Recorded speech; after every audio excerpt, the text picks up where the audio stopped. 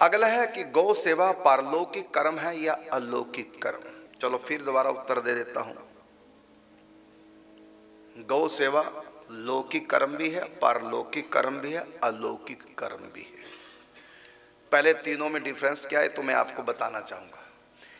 जो काम इसी दुनिया में काम आते हैं, उसको कहते हैं लौकिक कर्म। जैसे पढ़ना, कमाना, खाना विवाह शादी घर गृहस्थी ये सारे कर्म जो हैं, ये यहीं के लिए हैं, आगे काम आने वाले नहीं। इसलिए कर्म लौकिक। जो भी आप अपने परिवार के लिए कर रहे हैं, सब लौकिक कर्म। यही काम आएँगे। पत्नी यही काम आएगी, आगे नहीं। बच्चे यही काम आएँगे, आगे नहीं। आजकल तो यहाँ की भी गारंटी नहीं रही वैसे बच्चों की। लेकिन फिर भी बच्चे यही कर सकते हैं, आगे कुछ नहीं।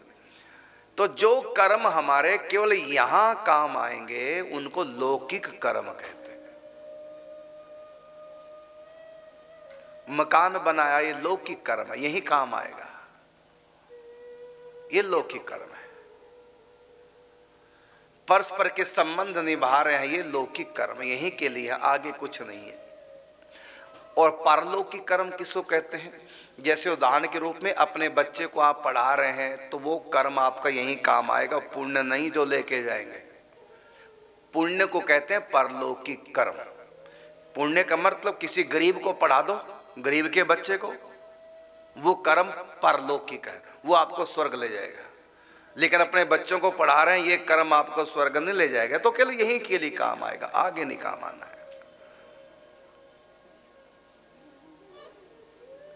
तो संसार के जो संबंध हम निभाते हैं, सब लौकिक कर्म है परलौकिक नहीं।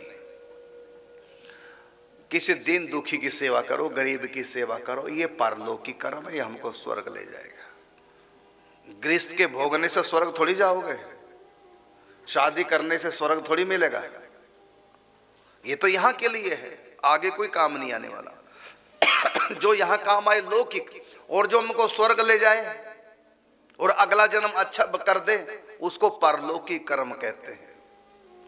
और अलौकिक कर्म किसको कहते हैं? जो हमको परलोक से भी आगे ले जाए, आलोक में। आलोक में ले जाए वो अलौकिक कर्म। आलोक कहते हैं भगवान के धाम को। जैसे नाम जप करना, पूजा करना, पाठ करना, चिंतन करना, ये सब कौन से कर्म है? अलौकिक कर्म है। जो हमको भगवत देखो, परिवार की सेवा, लौकिक कर्म।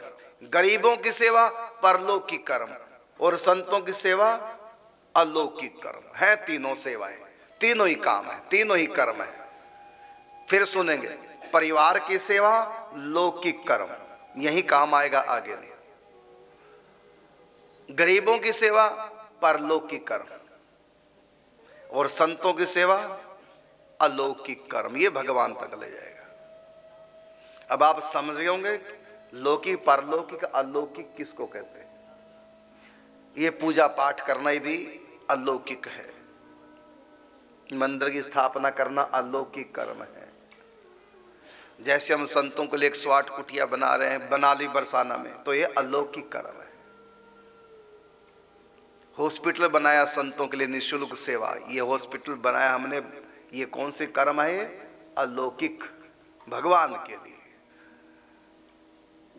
बरसाना वृंदावन में एक सौ आठ कुटिया अभी शुरू होनी हुई, क्योंकि परसों ही रजिस्ट्री हुई, जैसे कि आपको पता है। अब यहाँ हम एक सौ आठ कुटिया बनाएँगे और फिर महिला संतों को दान कर देंगे। ये कौन सा कर्म हो गया? अलौकिक। तो लौकिक कर्म जो यहाँ सुख दे परलौकिक कर्म जो स्वर्ग में सुख दे अलौकिक कर्म जो भगवान के धाम में ले जाए। तो लौकिक कर्म भी खत्म हो जाएगा, मिट जाएँगे सब। यहाँ का सुख भी और यहाँ के लोग भी, यहाँ के कर्म भी भोगने के बाद खत्म। और जो गरीबों की सेवा की, दीन दुखियों की सेवा की, वो हमको स्वर्ग ले जाएगा।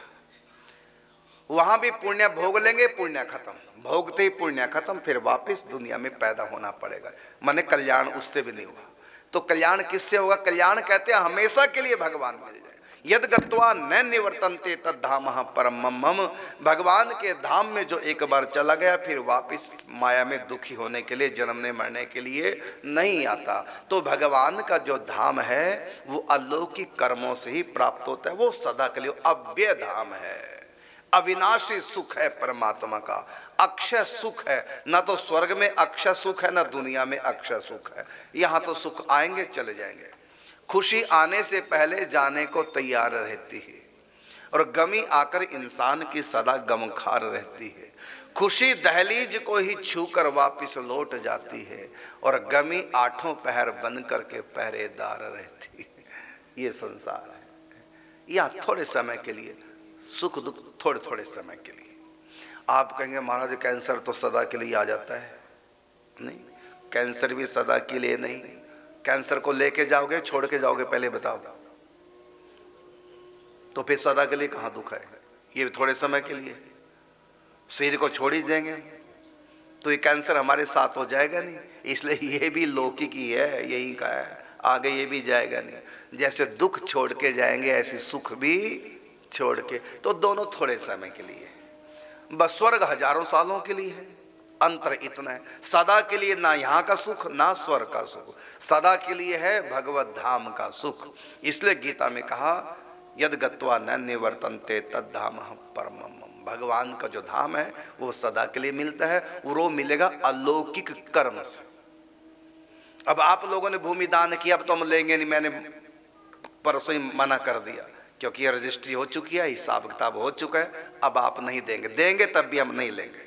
और दिन था, दो आपको मिला था, अब चूक गए तो चूक गए, अब कोई दान ना करे। क्योंकि ज़मीन के लिए हमको था, वो हो गया काम, हो गई रजिस्ट्री। अब आप देंगे तो हम क्या करेंगे उसका?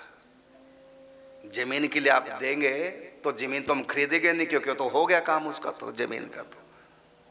तो जहाँ के लिए दिया जाता है, वहीं लगाया जाता है।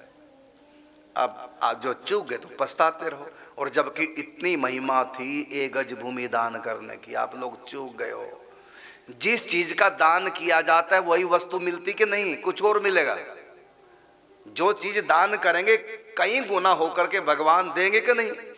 और दान किसका कर रहे थे आप? वृंदावन की भूमि का। तो उसके बदले में क्या देंगे भगवान?